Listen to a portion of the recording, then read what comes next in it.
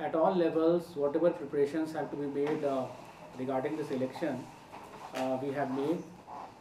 Uh, we have, uh, like uh, last assembly elections, 2196 polling stations, there have not been any change.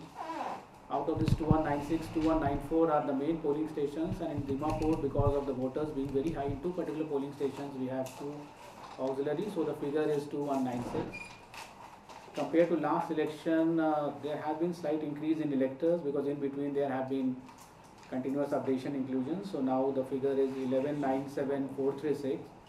And uh, as the way election works in parliamentary uh, thing is that uh, though RO is the commissioner, but all the election management happens in a very decentralized way in the election district.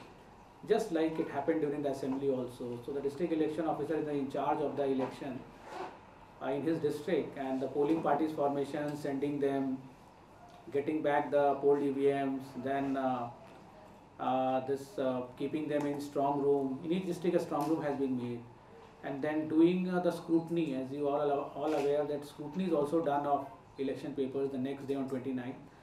Overall, till now, the law and order situation in the state, as we take it, is normal. Barring few small, small incidents uh, here and there, we have received uh, no serious law and order uh, issues. So we take it that the law and order uh, situation in the state is congenial for conduct of this election. But uh, at Dimapur, the NPF uh, candidate had given Mithun to some community for distribution during uh, this electioneering.